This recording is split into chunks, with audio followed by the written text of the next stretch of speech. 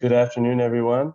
Uh, thank you for joining today. Welcome to our Disability Etiquette and Awareness Training webinar for Nightlife Businesses.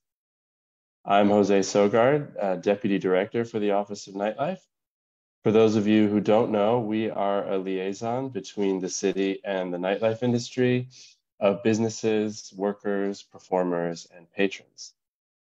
If you have any issues or questions, you can always feel free to reach out to us at nightlife at media.nyc.gov, and that address is on the screen there. Today's webinar is part of a new series of courses that we've created called NITE School, or Nightlife Industry Training and Education. This is a series to share resources and trainings for businesses and workers and patrons with sessions on how best to engage with city agencies, learn tips for proactive harm reduction, addressing quality of life issues, and more. You can find out more information at nyc.gov slash night school. That's N-I-T-E school, and we will put a link in the chat. Today, we're very happy to share with you a presentation from the Mayor's Office for People with Disabilities, or MOPD. They are here today to present uh, some tips and strategies for how you can get started or go further toward creating a more inclusive environment for all New Yorkers. Empower you and your staff with best practices for interacting with people with disabilities. We're so excited to have them here today. Thank you for joining us. Before I introduce them to conduct the presentation, I just want to share a few quick housekeeping notes. First, please use the Q&A feature in Zoom to let us know your questions throughout the meeting as well as after the presentation, we'll have some additional time for Q&A. I also want to acknowledge that we are joined by ASL interpreters. Uh, you can use the interpretation function at the bottom of your toolbar. Alyssa and Andrea, thank you so much for being with us today as well. If you would also like to use the captions function, you can do that in your Zoom as well. And this meeting is also being recorded and live streamed to Facebook. A recording will be available to share with anyone you know who would like to view uh, this webinar at a later time. And again, you can also visit nyc.gov slash night school, N-I-T-E school, to find information on other scheduled trainings and webinars that are part of this series. Now, without further ado, I'd like to turn over to my colleagues from MOPD uh, Eli Ramos and Arthur Jacobs will be uh, conducting the presentation today. Thank you both for being with us here today and for sharing this important uh, information with our nightlife community. Please take it away. Thank you very much. Welcome everybody to the Disability Etiquette and Awareness Training. Um, we're gonna skip the access check because we just did that um, and move straight into the presentation. So we are the Mayor's Office for People with Disabilities. My name is Arthur Jacobs. I am a Caucasian male, white male in my mid 40s with blonde hair and blue eyes, and I am blind. Um, the Mayor's Office for People with Disabilities is a liaison agency between um, the different city agencies and the disability community. We try to work with these city agencies to make sure that they're programs and services are accessible to all New Yorkers, including those with disabilities. Um, these, this is our contact info on this slide, um, including our social media. Um, and you'll, the slide deck will be available, so um, you don't need to you know, furiously be writing down these notes. You'll, you'll get this info. So today's agenda, we're going to start off with an introduction to disability. We're going to move into laws and statistics, talk about language um, around disability, some of the basics of interacting with people with disabilities, then move into the, the real meat of the presentation and talk about different disability types and how to interact with those people, um, and then uh, talk a bit about resources. So intro to disability, we're going to start with the models of disability, a little bit about disability justice, and then level set with a disability glossary. So the first model of disability we'd like to discuss is referred to as the medical model of disability. This is uh, really focuses on what an individual is unable to do, and um, it, it aims to kind of normalize, quote unquote, the person with a disability. So to make them fit into what society sees as quote unquote normal. Um, so, for instance, if I, as a blind person, was to meet somebody for the first time who who viewed disability this way, they would probably ask me questions like, "Oh, have you tried laser laser surgery? How about that bionic guy I saw that on a TV show. That works, right?" Um, so you know, asking me things about ways that I can fix myself, right, um, or to become quote unquote normal. Um, and again, the emphasis really is on what people cannot do, as opposed to the social model of disability, which really focuses on what a person can do. So it views disability as a social construct. So people with disabilities encounter disabling conditions based on um, the barriers that they encounter in society. So if, let's say I was a wheelchair user, um, going to a job interview in a building and I get there and there's you know, a bunch of steps to get in and there isn't a ramp or any kind of accessible entrance, then I'm experiencing a disabling condition at that point. You know, before then, I was able to get to the building, no problems, um, but it's that barrier that causes the issue.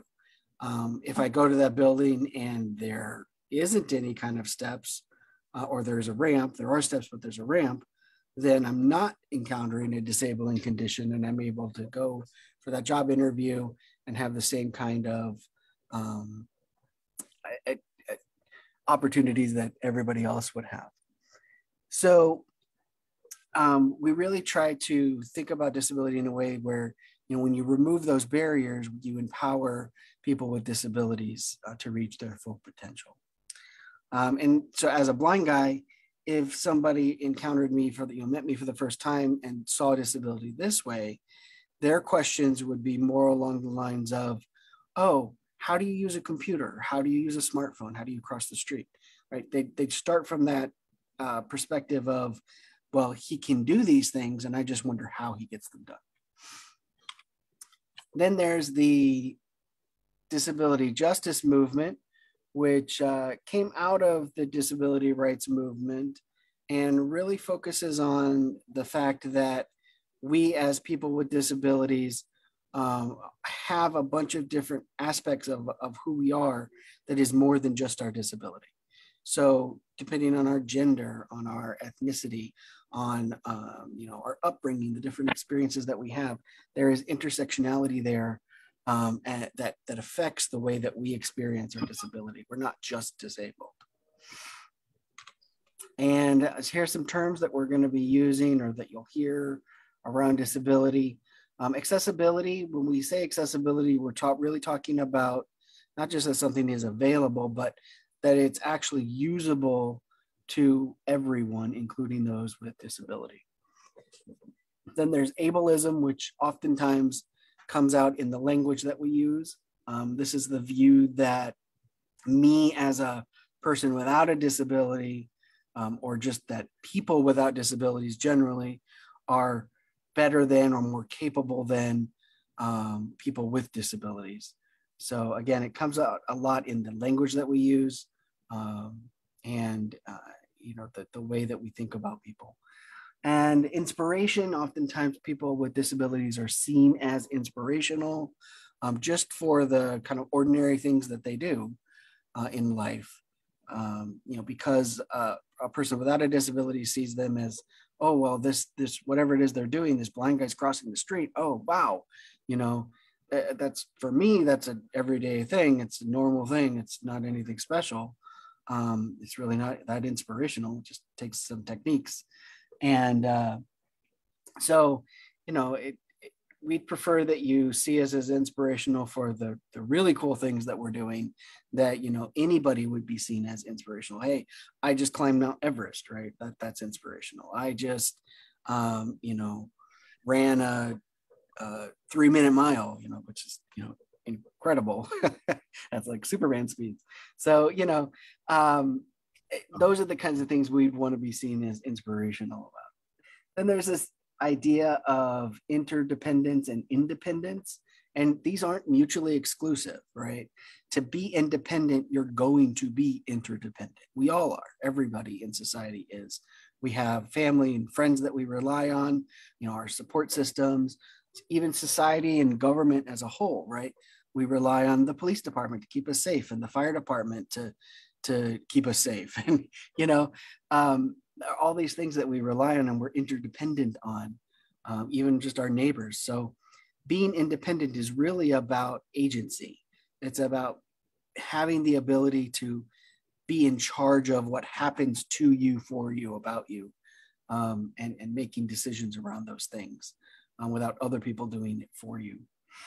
And then interdependence, I'm not going to spend any time on that because we just talked about it in the previous slide. All right, we're going to move into laws and statistics. We're going to look at the definition, the legal definition of disability, and then talk about a little bit about uh, what disability looks like here in the city. So the Americans with Disabilities Act, or the ADA, was the really the first law that defined disability. And it says that it's a physical or mental impairment that substantially limits one or more major life activity. I'm going to stop there a sec.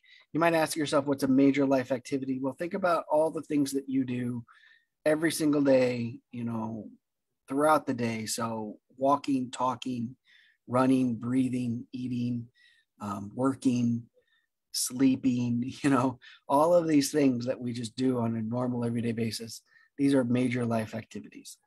Um, it also covers having a record of such an impairment or being regarded as having such an impairment. Um, so those are the kind of the three ways you can be seen as having a disability. And then the New York City Human Rights Law also defines disability, and it, it basically uses the same definition. The major difference is it doesn't use substantially in it, uh, but that it just limits a major life activity. Um, and so the, the, New York City Human Rights Law is actually more protective. It's one of the most protective human rights laws in the country, actually. Um, so that's good to keep in mind. All right, some statistics about disability here in the city. Now, just so as a note, these are based on self-reporting um, through the Census Bureau. Um, so these are people who are self-identifying as having a disability. Uh, you'll notice there are different categories here if you added up all these numbers, it would end up being more than this 945,000 because oftentimes people identify as having more than one type of disability. Somebody might be both deaf and blind, for instance, um, or use a wheelchair and also have a hearing loss, right? So um, there are all kinds of different combinations. Um, I, I'm going to talk a little bit about the last two categories just to help identify them a little more. A self-care disability is something that um, uh, impacts your ability to take care of yourself physically, right? So think about eating, toileting, bathing, these kinds of things. Um, whereas an independent living disability is something that affects your ability to live on your own. So think cooking, cleaning, doing your laundry, doing shopping, you know, running a household, that sort of thing. Um, and again, these are self-reported, so it, it ends up being about 11% of New York City's population. We actually think that's about half the actual number. We think it's closer to 20%, um, or even as high as 25%, depending on who you ask. So, all right, so I'm going to pass it over to Eli now to talk about length.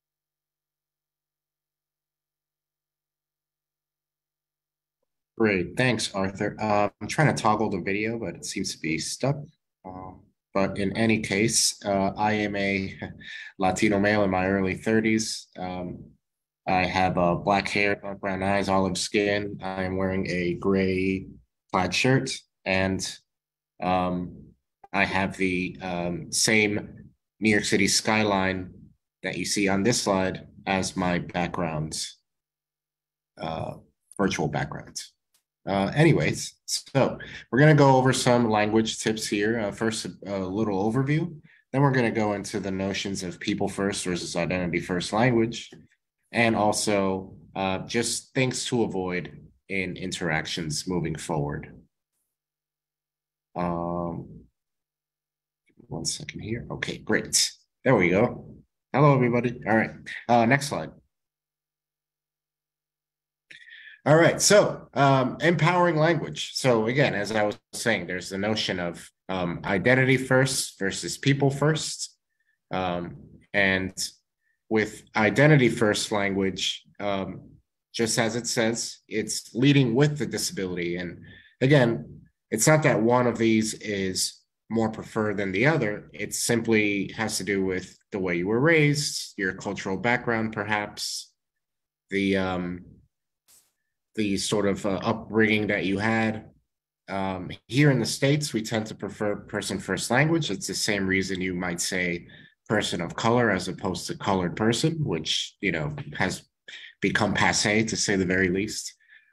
But uh, again, and it's not to say that one is more correct than the other. Um, you should just gauge whatever is being used in that situation and just try to mimic it as best you can. Both are used by the disability community, depending on the circumstance. Again, um, so with offensive language, I mean, this is just language that we'd like to stay away from in general, but it comes in the form of slurs, uh, euphemisms um, that are used to kind of replace disability um, usually created by folks without disabilities to describe folks with disabilities, and that has more to do with them than us, really. Um, metaphors, um, kind of using our community as the punchline to a to a joke or an argument, and also negative language uh, that we just would like to avoid in general. Uh, next slide.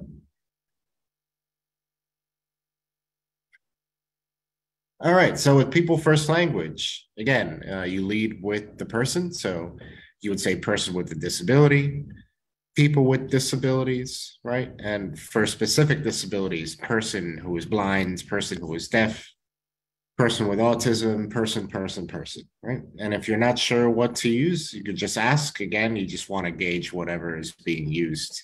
But uh, you know, quickest way to get my attention is just by saying Eli, but if you need to embellish, this is the way to do with person first. Next slide. So identity first, it's the same thing. We're just going to flip it on its head here. Um, disabled person, disabled people, blind person, deaf person, autistic person, et cetera, et cetera. And again, just ask. I think we will just appreciate the fact that you're trying your best, right? And um, and so um, yeah, just feel free to ask in that given scenario. Uh, next slide. All right, so some outdated terms and metaphors here, um, and some of them you might have been using up to five minutes ago, and that's fine. We're not here to wag a finger in anybody's face. That's the last thing we want to do. We just want to inform, educate, hopefully discuss if there's time at the end, right? But here's some outdated terms. Uh, handicapped, you'll see that still being used pretty prevalently. We're trying to change that. Um, it's a bit of a condescending word to use. The implication is that we'll always need help, right? Um, and that, as you'll see, that's not always the case. Um, crippled, you know, uh, I've I, I, grew I grew up in Sunday school, so I, I used to see that one in in the King James version, right? But again, it's something that we don't really use in modern times. Um, I won't even say the next one, but it starts with R. Yeah, just try to eliminate that from your vocabulary in general. Uh, wheelchair bounds. I'm not bound by my wheelchair. My wheelchair is the reason I'm in front of you right now. You know. Um, so again, this concept of being bound by a wheelchair is something that we disagree with. Uh, visually impaired, hearing impaired. It's the word impaired that we take issue with, um, which we did use in the definition purely in a legal um, um, sense, but in interactions, this is a word you want to stray away from. Um, and metaphors, um, you know, blindsided, falling on deaf ears as sort of like a metaphor for ignorance or, you know, um, it's it's just using our community as as sort of the the punchline to to a joke or to an argument. As i was saying before you might pick up a newspaper and say oh the economy was paralyzed by the covid-19 crisis. Again i mean i just feel like there are just more eloquent ways of of writing a uh, a newspaper headline right? Um the next slide. So um negative language as well, victim, sufferer. You'll find that folks with disabilities don't see themselves as being victims or suffering from anything really. It's just another aspect of what makes us who we are. Um, and that's not all across the board. I'm just saying in general, it's it's not a great way to start off an interaction anyway, right? So and uh, to that point, physically challenged as well. Pretty vague, if you ask me. I think we're all physically challenged, right? We're all bound by the laws of gravity. So again, it's not really addressing what's really uh, trying to be meant by this. And if you're gonna do that, might as well just call it for what it is. I think the community nowadays just appreciates a bit more directness. So, person with a disability, right? Disabled person, if it's identity first, usually the best way to go there. Um, insults, I've heard all of these stupid, dumb, idiot, moron, cripple, gimp, spaz. I'll probably hear them again, maybe today. But I just don't want to hear them from any of you. That's all. Uh, next slide. Uh, euphemisms, again, this sort of beat around the bush way of uh, addressing disability, um, usually created by folks without disabilities to describe uh, this community. Um, but again, it leaves a lot of room for doubts here. Uh, differently abled, not really sure what that means. Special needs. Uh, the, we tread lightly with this one because the DOE uses it, but you know, no mother wants to hear that their child isn't special. So we try to leave that one alone. But I think in general, it's something that we would like to avoid.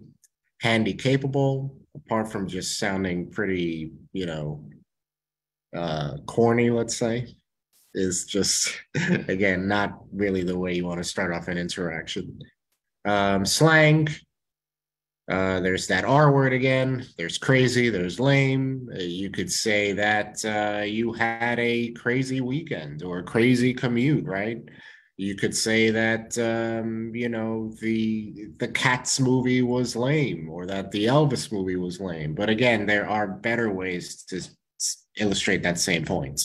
You could say you had a wild weekend or a ridiculous commute, or you could say that the Elvis movie was lackluster Right? there's no need to sort of throw us under that proverbial bus just to get your point across, right?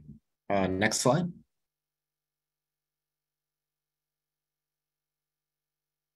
All right, so some uh, disability etiquette basics uh, when it comes to interactions and accessibility uh, concerns as well. Uh, next slide.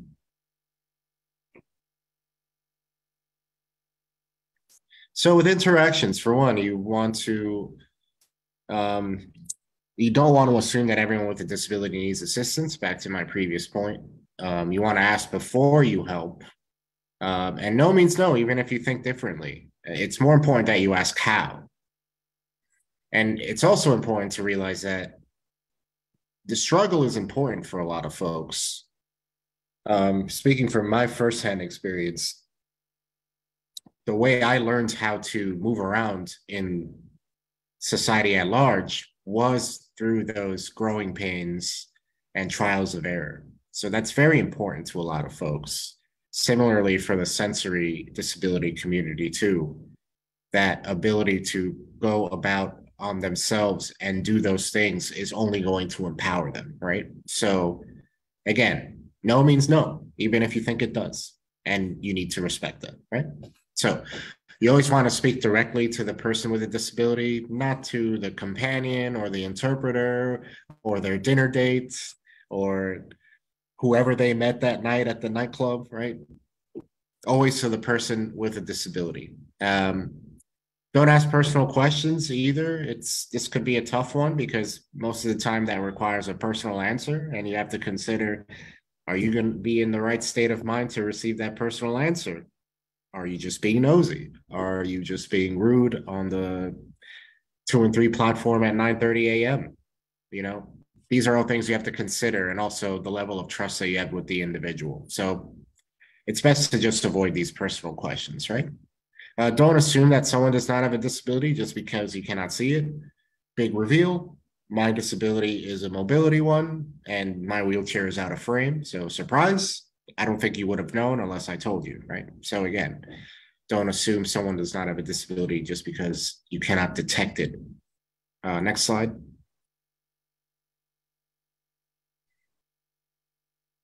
So accessibility considerations, uh, you want to think about access in all your programs and services like we did today. We're doing our image descriptions. We have um, ASL here today. Thank you very much, ASL. Um, and you also want to be mindful when scheduling events and meetings, such as we did today, making sure that all these things are in place in the virtual sense, but even in the physical sense. Is this place going to be easy to get to? How are the restrooms? Is there an accessible train station nearby? Is there a process with security at the front desk when you sign in? Do I need to do XYZ, right?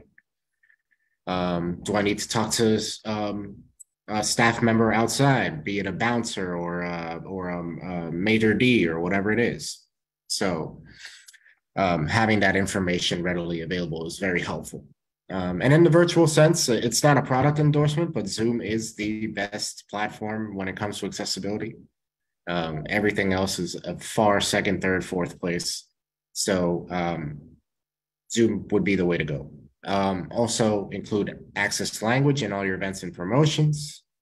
Um, so again, um, not just in the sense of letting people know what to do and when and how, but also in the way that it's written too, because there are folks with cognitive disabilities, uh, folks with some learning disabilities, dyslexia, what have you, that would need to um, digest this information in simple, clear language, right?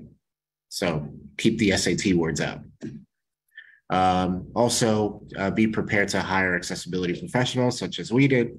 Um, and we have resources to that effect on our website too. Uh, next slide. All right, so we covered the basics. We're going to go into some more specific um, examples here with um, different disability types. So starting with mobility, such as my own. Next slide. And again, I mean, the international symbol of disability is someone in a wheelchair. We we definitely recognize that, but it could come in different forms too. Uh, wheelchair, rollator, crutches, cane, even some of the more ergonomically designed ones, like you'll see at the top left, right? This is all, again, it's not always uh, the wheelchair. It's a broad spectrum of devices being used and, and manifestations of those disabilities. Uh, next slide. So for one, uh, we see a disgruntled gentleman here. It seems like he's not having a good time. There's a young lady who probably comes from a, a place of empathy. But back to my previous point, I don't think she asked how she could assist. She just inserted herself, right? Um, and to that point, a wheelchair, a person's wheelchair is part of their personal space. I certainly consider it to be. Um, what this young lady is doing by pushing him, um, it would be the same as as me just coming up to somebody and pushing them aside just to get through to a particular room or space. Right? It's inappropriate. It's rude. Potentially dangerous. Potentially potentially litigious. Right? Lawyers are expensive. So if you haven't been asked to assist uh, with pushing or touching these mobility devices, um, don't do it. It's considered inappropriate and it could create a disabling condition, as Arthur was saying before. Moving these um, devices without permission, all of a sudden you're in a doctor's office and your cane is halfway across the room, um, creates a disabling condition, right? Next slide. All right. So when interacting, and you know, this is going to be tough in some of the more crowded spaces, but just do the best you can here. Uh, we see two scenarios, uh, two individuals. One is a wheelchair user, one is not, and they're sitting down. Um, in the second scenario, the non-wheelchair user is standing, but he's doing so at a slight distance. And why is that? It all has to do with the eye level. So for one, the literal meaning of the word condescending is to look down on somebody. So we want to avoid those kinds of interactions, but also um, lifting your head up to somebody who's standing two and three feet above you for 45 minutes while you talk to me about the weather can be pretty strenuous, right? I can do about 15 minutes, but after that, I might ask you to sit down or again, just stand at a slight distance, as you see here. Uh, next slide. Accessibility of the, the space. Yeah so this is very important. We see a, a, young man here trying to reload his stapler and he can't. Why? The staples are all the way at the top. Now granted am i gonna load up the copy machine with a thousand count of paper? Probably not. But these everyday things like staples, uh, telephones, computers, mice, keyboards, fork, knife, spoon, napkin, tablecloth, right? These are all things you want to keep within reach. Um, and also being aware of desk heights and positions as well. Um, keeping aisles and walkways clear, especially to and from the facilities, the restrooms, the lavatories, right? And the entrances and exits, uh, very important. Uh, next slide. Keeping accessibility accessible. Um, I, I know some of you on this call might have you know service ramps and ramps to get into um, the businesses but it's no use if it's blocked right? So we have a, a, a, wheelchair user here trying to access the ramp here at the edge of the sidewalk and who's blocking it? Well wouldn't you know it's a cop car that says policia. Last i checked that's the spanish word for police. Um, and you know this happens sometimes but again just try to keep these entrances clear, um, doorways um, open and unblocked if possible, security allowing, right? Um, this will just create a better situation for everybody. Uh, next slide. Some accommodations, we won't get too into this, but you know, ergonomic equipment. There are some folks who might benefit from ergonomic um, uh, kitchenware, for example in in these situations, uh, maybe an ergonomic glass or um, cup, you know, what have you. Uh, maybe going for the uh, Tom Collins glass as opposed for the wine glass. Right? Just an example there. Um, but yeah, these are all um, accommodations that you see in the workplace, in academia, at home for a lot of folks. And again, we'll be sending this slide deck out, so you'll be able to uh, explore that a little more yourselves. Uh, next slide. I'm going to pass it back over to Arthur. All right, thank you, Eli. We're going to talk about the blind and low vision community now. Again, we have a couple of stereotypical images of blind people, but just keep in mind that not all blind people use a cane or a dog. Um, not all blind people wear sunglasses, etc. Uh, it is a wide range. Um, and with that in mind, here are some blind and low vision basics. So blindness has a wide range. Most blind people actually um, are uh, have some level of vision. People who identify as blind, uh, most have some amount of vision. Um, many wear glasses, you know that sort of thing, and they're still considered considering themselves to be blind. It doesn't mean absolutely no vision. It just means that you operate and do things in a way that you know somebody without vision would do. So you use a cane, you use a dog, you use large print, you use you know whatever. Um, our hearing and our sense of smell are not better. They're we just pay more attention to them. We get um, inform we, we get more information from them, and so um, you know they're not inherently better. We just pay more attention. I'm your guy. If you're in the mall and you want to find Cinnabon, I can help you there. All right. So, and you know, one of the biggest barriers uh, for people who are blind uh, is access to information and low expectations. And I think access and low expectations are really the biggest barriers for all people with disabilities. So, all right, interacting with blind people. When speaking to a person uh, who's blind, you want to identify yourself. This helps them to know that you're talking to them specifically. Uh, if you're walking with a blind person, you want to stay on the opposite side of their cane or their dog.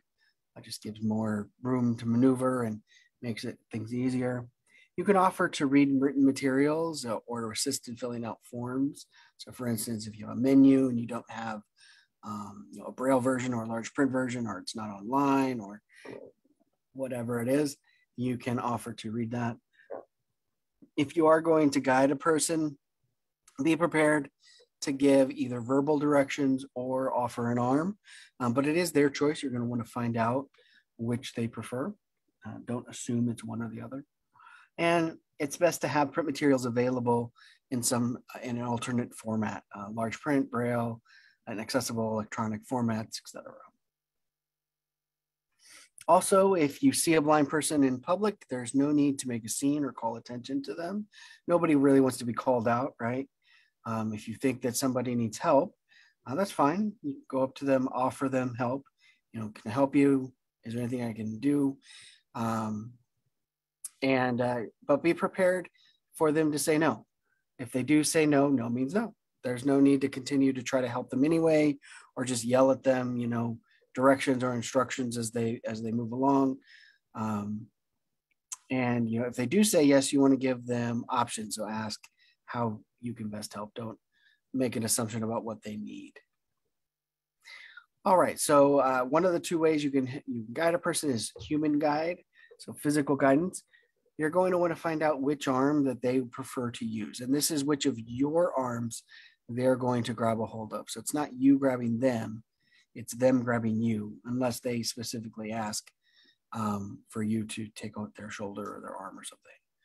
Uh, but generally speaking, you're going to uh, they're going to hold on to you. Again, it goes back to that agency um, we talked about earlier. You want to give them the options. Your arm should be straight down and against your body, so not bent at the elbow and not out away from you like a chicken wing. Um, two reasons for this: when it's straight, it gives the person um, more to hang on to. It's easier to hold on to your arm than when you're it's a bent elbow. And when it's down against your body, it gives them the immediate um, feeling of your body as it moves. You know, if you're turning or moving left to right, um, they're they're going to feel that immediately, as opposed to if you have your arm away from your body, that movement gets telescoped out, and there's a little bit of a delay. Uh, if you come to a narrow space, you just want to announce that. Put your arm behind you so they can grab your wrist and walk behind you. Um, try to keep your arm as, as far away from you as you can comfortably to give them space to walk behind you. And then um, for, for uh, steps, you just want to announce that they're coming up. You know, we're coming to some stairs going up, we're coming to some stairs going down. You don't need to give them a count of how many there are or anything. There they'll have a mobility device they're using or, or, techniques that they're using to figure that out as they go up or down them. Um, but it is helpful to know they're coming and to know which direction they're going in. There's nothing worse than going up downstairs or down upstairs. Uh, very uncomfortable. I know from experience. For chairs, make sure that you uh, orient them to the, the seat, right? So you want to show them the back of the chair as well as the seat of the chair so that they understand its orientation and can sit appropriately. So the other option is to provide verbal guidance. A lot of blind people are, are very proud of their independence and that agency, right? And they're they're going to want to not be physically guided, but get those verbal directions. I personally prefer it. I'd like to know my environment. I like to explore it, and I can't do that if I'm just being led around, right? Um, I'm going to I'm bypassing all the things that I'm going to be encountering if I'm exploring it myself. So I'm going to want the directions. Um, so in that case, you can provide the verbal directions, and but you don't want to use vague language. You want to be precise. Um, imagine if you were using your GPS, right, and you put in your destination, and it said, "All right, navigating to wherever you're going," and it said, "Okay, first go over there." You're you're probably gonna look at the thing crossly and toss it out the window because it's broken, right? No, it, that's not helpful at all. If you want you know turn by turn directions. You want specific instructions on how to get where you're going. So you want to use things like turn left, to, you know, go left, go right, straight ahead, it's behind you. If it is kind of a complex situation, it's not directly left or right or in front or behind. You can think of uh, the face of a clock. The person is standing in the middle of the face of a clock, and whatever direction they're facing is 12 o'clock. So based on that orientation, you might say, you know, oh, it's the the bar is, you know, off to your 10 o'clock, right? Or whatever it is.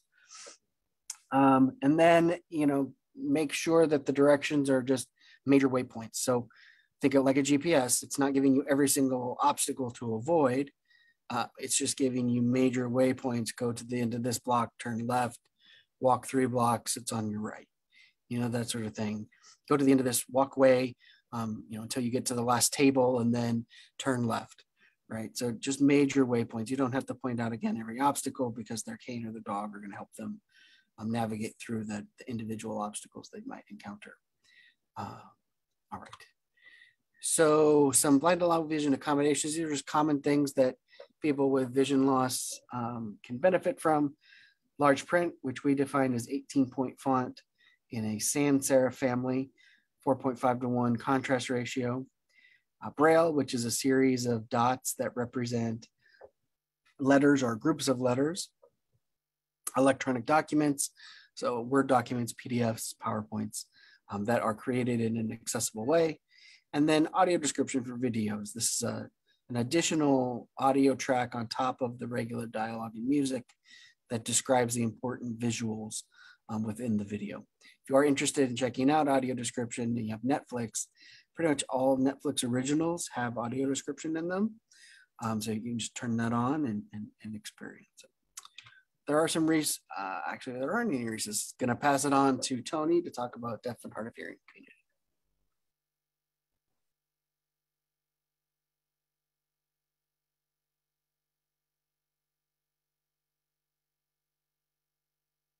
Hello. Hello, everyone. My name is Tony. I'm Tony Wooden. I am the ASL Direct Program Supervisor for MOPD, Mayor's Office for People with Disabilities. And I focus on participants who are deaf and hard of hearing. I'm an African American male in my 30s. Uh, I am sitting in my office and I'm just doing a visual description. I'm wearing like a blue cardigan and I'm here in my office. A little bit about me I am born deaf, I'm generationally deaf. I'm actually part of the largest African American deaf family in America. And I am uh, very comfortable as a deaf person, and that is my identity. Next slide, please.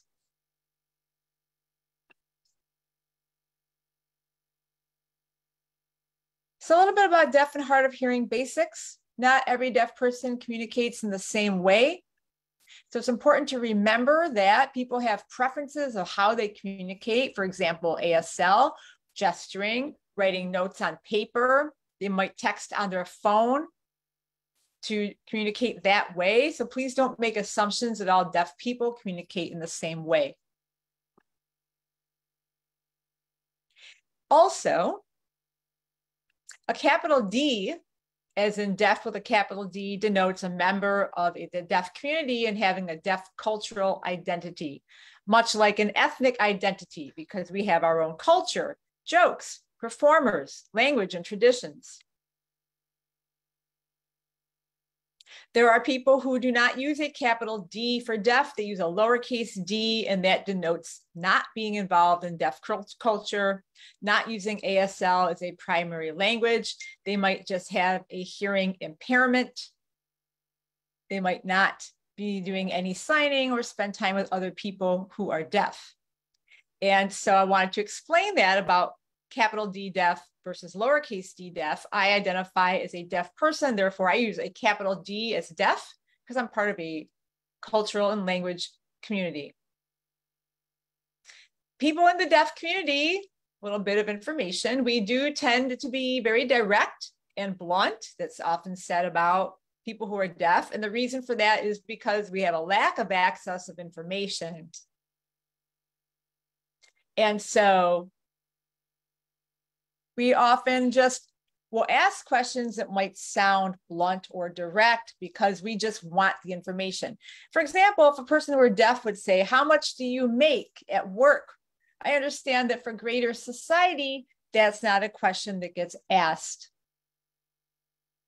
But it's really because of a desire for knowledge and not an attempt to be rude or nosy. And again, because we don't have the same access to that kind of information that other people might have.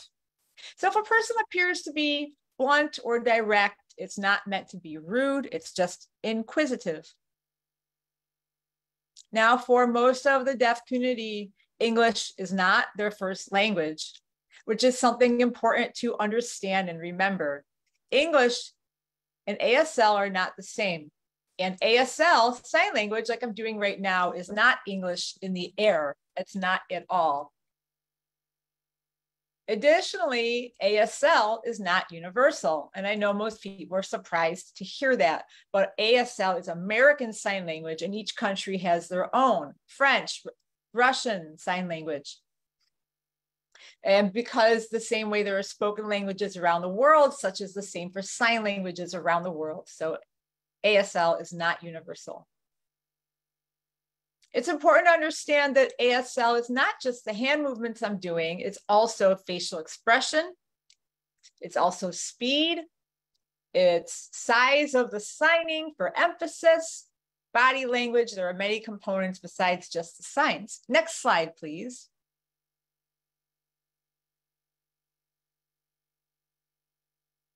Interacting with the deaf community. Suppose you need to get a deaf person's attention. How can you do that without calling their name? If you're in the same room, you can get the light switch, turn it on and off to flick the lights. That's acceptable.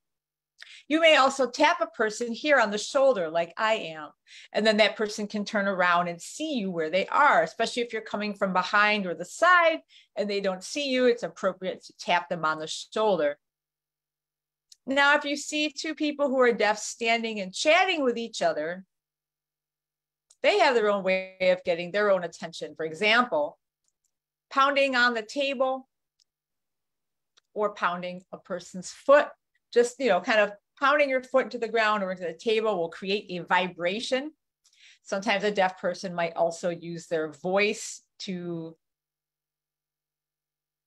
verbalize, like just a quick little vocalization to get a person's attention without actually speaking to them. So those are ways of getting attention. So you're going to want to ask a person what their preferred method of communication is, sign language, gesturing, writing, or speaking and lip reading. If a person says you may speak, I'm going to lip read you, please speak normally. Please don't speak slower. Please don't shout talking louder will not help me because I'm deaf. It actually will uh, make your speech come out a little different and it'll be harder to understand. Please make sure you're communicating in an area with enough light, not a place that's too dark. And that is applying for sign language or lip reading or writing on notes, because if it's too dark, we won't be able to see. Next slide, please.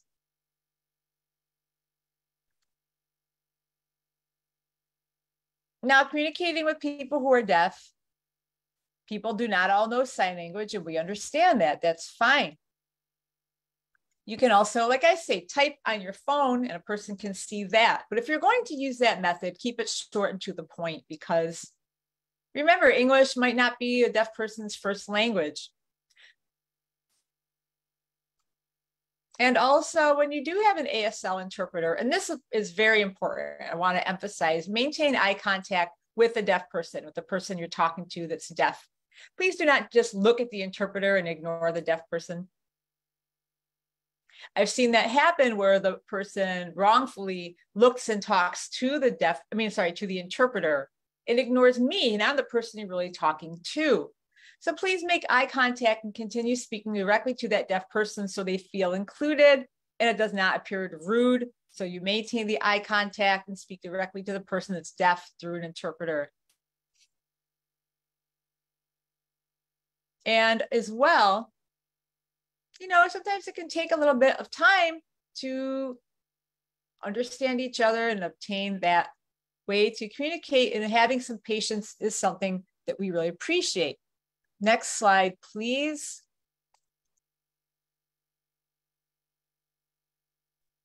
And we're going to just switch interpreters really quick. We're to switch. Thank you. Sorry. Yes, these are some deaf and hard of hearing accommodations that some people prefer to use. The first one is an ASL interpreter, like I have here today. The next is an assistive listening system. That would be connected to an FM unit that someone would wear. And you could hear a person speaking through the sound coming through the FM unit with earbuds in your ears. The third is an induction loop. So that concept is used with your own hearing aid or cochlear implant and connected to someone using a microphone. And the same concept is that the sound comes through the microphone into your either hearing aid or cochlear implant. The next is CART captioning, which is communication access real time translation. So someone speaks, and at the same time, it is being typed what they're saying. The next is close or open captions. So, you know, if you're watching TV or a movie, you would see the words coming on the bottom of the screen. You can enable that. So, the difference between closed and open captions is that closed captions means you could either have them on or off. You could switch up the settings, the size. There is a transcript through them, as opposed to open captioning, which means that the captions are going to be on screen the entire time. You do not have the ability to turn them on or off or change the settings for them. So, as a deaf person, it's important to know their preferred accommodation. You can't assume that all of these will apply to any deaf person. Every deaf person has their own preference. For example, me personally, I prefer to use the ASL interpreter. With I will also use CART if needed, open captions, closed captions, depending on the situation. But an assisted listening system and the induction loop would not work for me. I can hear, yes, some, but I would not understand the words and I would therefore miss the meaning. And it would just come in as sound in general, not words that I could differentiate. So you really just have to know to keep in mind who you're speaking with and their preferred accommodation. And next, we're going to turn it back to Eli. Thank you. Great, thanks, Tony. Uh, we we only have a few minutes left, but essentially the rest of the presentation is basically reiterating these same points of again asking how before uh, if, right, or instead of if, um, and just you know living by the golden rule. I think is pretty much the most important thing here is treat others the way that you would want to be treated, right? And especially if they're patronizing, uh, if they're offering business to your establishment, right? So, um, even then, so because our money is green as well, right? So, um, I don't think we're going to have time to go through the slides, but again, everyone will receive a copy of this presentation. And again, if there are questions, you could um, contact us. Maybe Arthur, we could throw up the uh, the contact slide there. Um, because unfortunately we have run out of time. But um, again, questions, feel free to reach out. Um, yeah, that's that's our contact info there. There's a wonderful uh, website that I will put in the chat called askjan.org. And it's for accommodations. So if you're not quite sure what accommodations are right for what disability, askjan.org allows you to simplify it based on disability type or even in reverse by accommodation and then determining, okay, this accommodation works best with these population segments, right? So a, a wonderful resource for all of you to use. Um, and with that, I just want to thank you all for being here on behalf of MOPD. Um, hopefully we'll get some questions via email. We're always willing to answer any and all questions and concerns. But with that, I'm going to pass it back over to Jose and Francesca. Thanks so much. Thanks, Eli, and thanks everyone for coming. Um, you know, we hope everyone's been able to take some uh, very helpful and uh, useful information uh, from your session and your presentation, and that everyone can start to take some steps to put some of these um, tips and resources and behaviors into practice, um, both you know in their businesses and venues as well as their everyday lives. As always, uh, if you have any other questions about uh, your venue or your events, you can always contact us via email at nightlife at media.nyc.gov or on our social media accounts at, at NYC Nightlife Gov. Um, so we will leave the chat open for just another minute if folks want to pull down um, any of those web addresses. And uh, we wish everyone a, a, wonderful day. Thanks again to Eli and Arthur and Tony for um, their excellent presentations. Thanks. It was a pleasure. Thank you all.